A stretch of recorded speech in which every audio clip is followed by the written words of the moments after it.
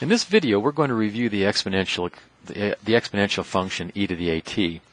And we're going to see how that exponential function is the solution to a family of differential equations that describes a number of fairly common physical systems. For example, we have here a bucket containing water and there's a hole in the bucket at the bottom.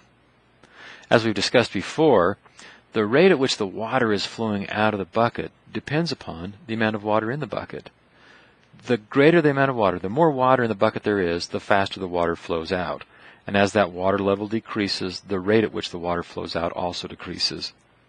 Mathematically, that's described with a differential equation of the form dx dt is equal to negative k times x of t.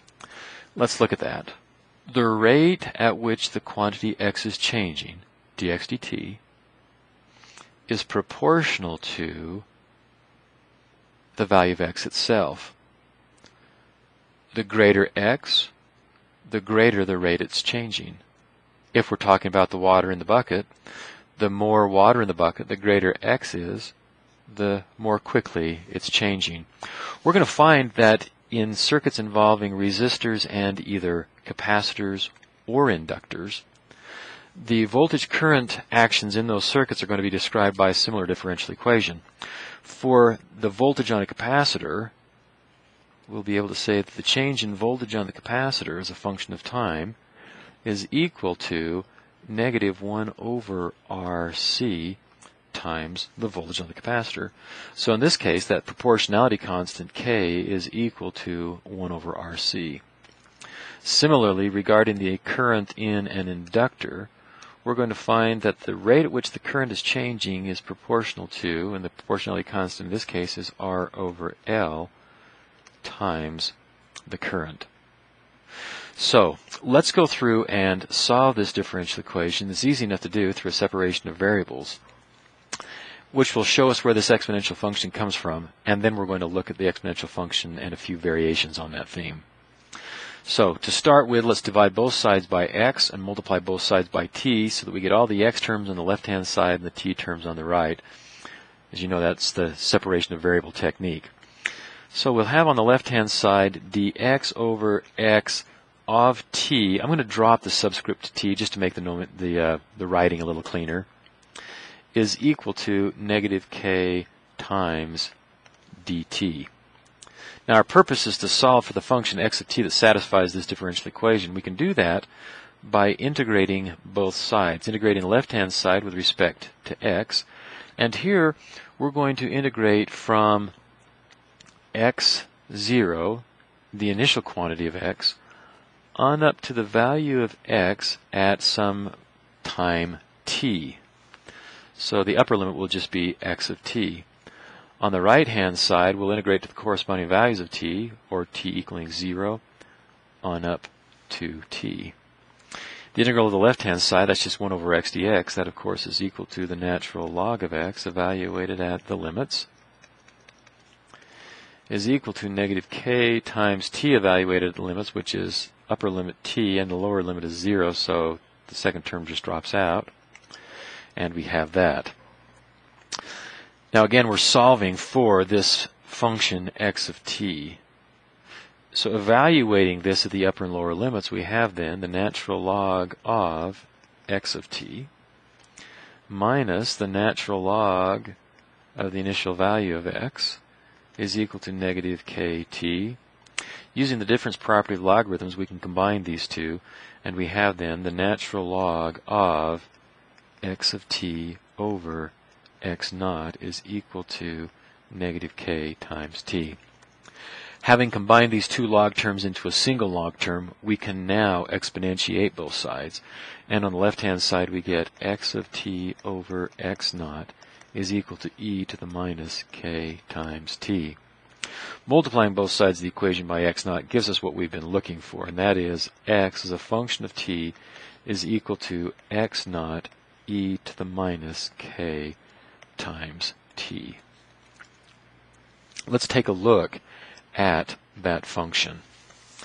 x of t is equal to e or is equal to x naught e to the minus kt. You're familiar with this. You know that at t equals 0, e to the 0 is 1, and we have simply that initial value, x naught. In this case, it's 5. Now, as t grows, effect, uh, um, conceptually increasing without limit, as it goes to infinity, we then have e to the minus infinity. Well, e to the minus infinity is 0. So this function then dies out as t goes to infinity, and we have that classic exponential decay term. This, we will see, represents the quantity of water in a bucket, the charge or the voltage on a capacitor, or the current in an inductor as the energy in the capacitor or the energy in the in the inductor is allowed to just dissipate or discharge through a resistance. We're going to also find situations where we're going to be charging the capacitor or the inductor.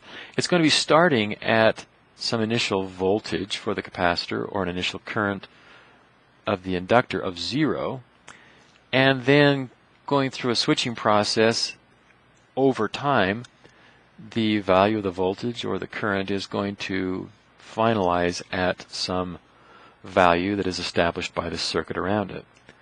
And the function of time that describes that transition from its initial value to its final value is, well, starting at zero and going to its final value, is x of t is equal to x of f minus x of f e to the minus kt. Now, x of f, that's a constant. In this case, it's just 5. It's a constant value. Constant is a function of time. This term here, as we already know, is this thing that dies out as a function of time. And it looks something like that. So we take this constant, this function here is taking a constant and subtracting this exponentially decaying term. Initially, both of them equal x, both of them equal x sub f, and so initially the difference of those two is zero. As the exponential function dies out, we're subtracting less and less, and ultimately we get to where we're subtracting zero, and this function does in fact describe that movement. Now another form of that is that we can factor out the x sub f from both of those terms and we're left with x sub f times 1 minus e to the minus kt. The final situation that we're interested in is where the voltage or current on the capacitor or the inductor starts at some non-zero value that we're going to call x naught, or in this case we're going to call it x sub i for the initial value. And it's going to go to some final value x sub f. And this function here describes that movement. Notice that initially, at t equals 0, we have x final a constant plus x initial minus x final e to the 0. Well, e to the 0 is 1, so we have x final plus x initial minus x final. The x finals cancel. And at t equals 0, this function is simply the initial value. Now, once again, as time progresses, this exponential term goes to 0, which means then that this term here goes to 0, and all we're left with is x sub f.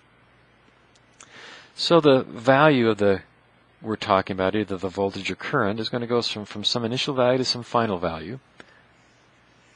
The distance that it changes, or the amount that it changes, is equal to x sub i minus x sub f. And this equation right here describes then the movement that we see depicted in that graph.